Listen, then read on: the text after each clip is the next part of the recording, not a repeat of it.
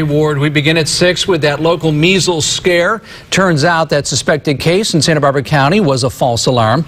Lab results show the child does not have measles. News Channel 3's Elise Martinez joins us live from St. Vincent's Preschool, where the child attends school. The child at the center of the measles scare is a one-year-old girl. She attended St. Vincent Preschool and was in a classroom with as many as 11 children. But tonight, administrators say they are happy the test results came back negative.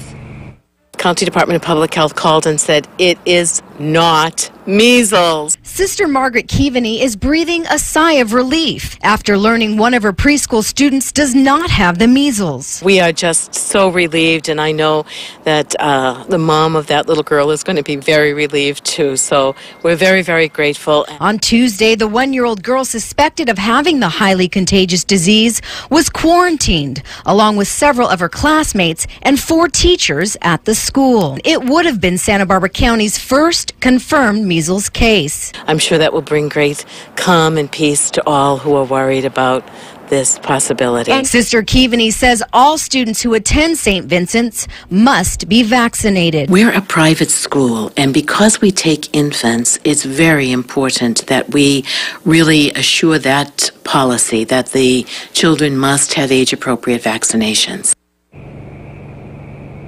Administrators spent the day contacting the little girl, parents, children, and teachers who were quarantined and letting them know that they can come back to school tomorrow. Live in Santa Barbara, Elise Martinez, News Channel 3.